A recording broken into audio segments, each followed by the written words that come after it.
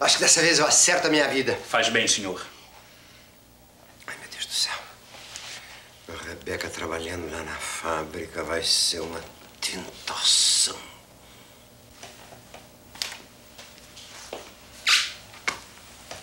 Te contei que a Rebeca me beijou? Não, senhor, não contou. Beijou. Ela me agarrou e me beijou. É mesmo, senhor? Não sei, tô achando essa Rebeca tão esquisita. Você sabe que desde que a Rebeca chegou, eu só consegui chamá-la de bebê uma única vez? Estranho, não é, senhor? Estranhíssimo.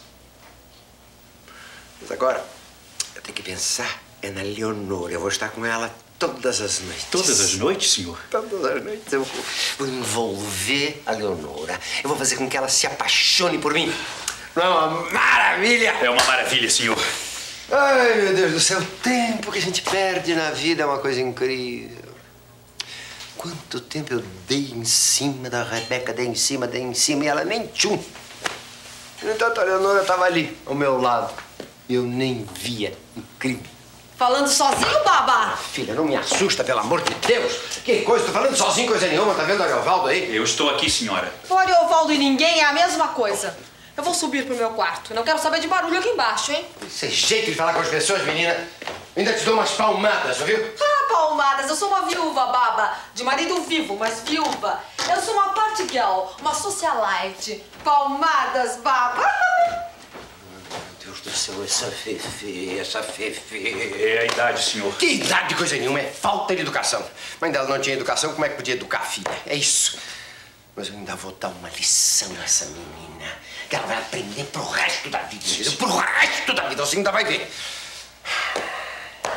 Ay asmahilam Habibi asmarani Habibi wayun khatre Amalaka hili bakani bakani Ay asmahilam Habibi! Ai! Ai! Ai! Que isso? Que isso? Foi isso, Durval? Deve ter sido o pio da coruja, senhor.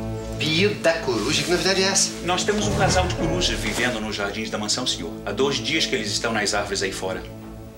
Eu não quero saber de nenhum casal de coruja passando férias no meu jardim, entendeu? Vê se espanta e eles vão passar as férias em outro jardim qualquer. Pois não, senhor. Amanhã mesmo espantaria. A Isabel. Mas eu não posso acreditar. Por que que num momento como esse eu ia inventar uma coisa dessas? Mas se a Isabel é assim, ela é, é pior do que eu pensava.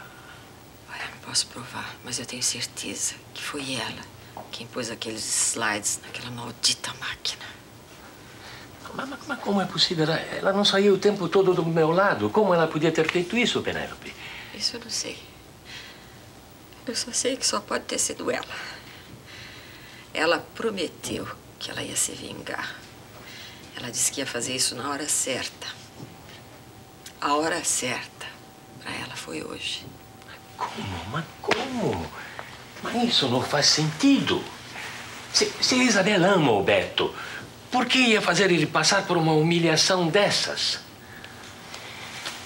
Eu acho que você vai ter que perguntar isso para ela. Eu não sei mais nada, eu só sei o que eu te contei. E me desculpe ter jogado você contra sua filha, mas eu tinha que falar. Mas então a Isabel precisa mesmo de um tratamento, precisa. Talvez ela precise mesmo. Porque eu sei que essa menina. O passatempo predileto dessa menina é jogar as pessoas umas contra as outras. Acho que essa menina é capaz de tudo para conseguir o que ela quer. Pronto, Leonora, já guardei o carro na garagem, viu? Obrigada. Apolo, eu tô muito preocupada com a minha amiga, Paulo. Leonora, não fica preocupada com isso não, viu? Quantas vezes a gente fica chateado com a vida e sai andando por aí sem rumo, sem direção. Depois isso passa. Ela vai aparecer, você vai ver. Mas ela tá sozinha, Paulo. Eu conheço a Penélope, ela deve ter se sentido desamparada. Se pelo menos ela estivesse com alguém.